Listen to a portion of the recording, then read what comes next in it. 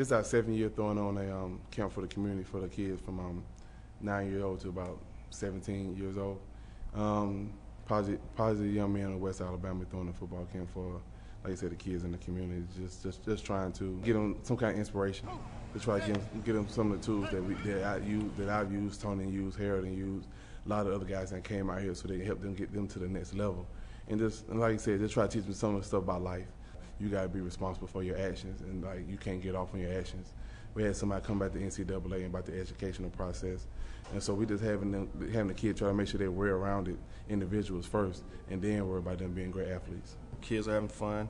Of course, it's heat out here. I mean, can't get can't avoid that, but I think we still having a good chat, good time. I wish I had an opportunity for something like this. They didn't have this in Reform, Alabama. I tell you, um, you know, all the guys I've met here, um, I knew them through uh, my years at University of Alabama. Some of them through my years in the NFL. So this is a great opportunity for kids to come out and, and do something that even myself that made it never got a chance to do.